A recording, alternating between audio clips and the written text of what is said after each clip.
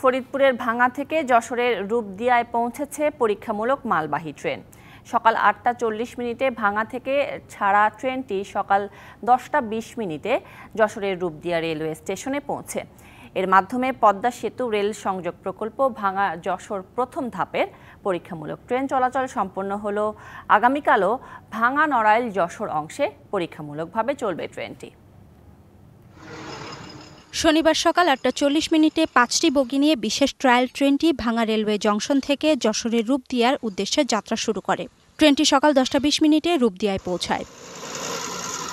ভাঙা থেকে যশোর অংশের সাতাশি দশমিক তিন দুই কিলোমিটার পথ আশি কিলোমিটার বেগে পাড়ি দেয় ট্রেনটি। পথে কোথাও কোনো সমস্যার সম্মুখীন হতে হয়নি।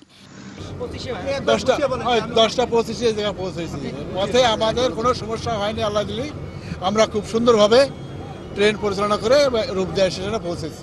রেল লাইনে কোনো সমস্যা অনুভূত হয় নাই। খুবই সুন্দর স্পিড ভালোভাবে চলেছে। এর পরবর্তীতে সিদ্ধান্ত হবে যে বাণিজ্যিকভাবে কবে চালু হবে এটা পরবর্তীতে সিদ্ধান্ত হবে। আমাদের বাংলাদেশ রেলওয়ে আছে রেল মন্ত্র আছে তারা সিদ্ধান্ত নেবেন। এই ট্রেন যশোরবাসীর জন্য প্রধানমন্ত্রীর ঈদের উপহার। আগামী জুনের মধ্যেই এই রুটে পুরো দমে ট্রেন চলাচলের কথা রয়েছে।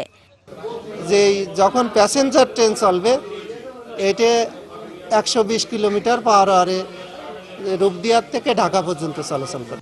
এদিকে পদ্মা রেল সেতু হয়ে নতুন ট্রেন চলাচলের সুযোগ তৈরি হওয়ায় খুশি স্থানীয়রা। এলাকার উন্নয়নের পাশাপাশি ব্যবসা বাণিজ্য ও যোগাযোগের ক্ষেত্রে নতুন দিগন্ত সৃষ্টি হয়েছে।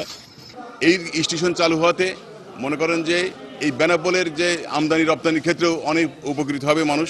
রূপদিয়া এরকম একটা বড় স্টেশন চালু হলো যেটা ঢাকার সাথে সরাসরি কানেক্টেড হ্যাঁ ঢাকাতে গাড়ি আসতেছে মানে বোর মতন সাজে গাজে আসতেছে।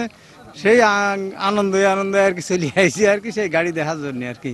দুই সালে তেসরা মে একনেকে পদ্মা সেতু রেল সংযোগ প্রকল্প নামে এটির অনুমোদন হয়।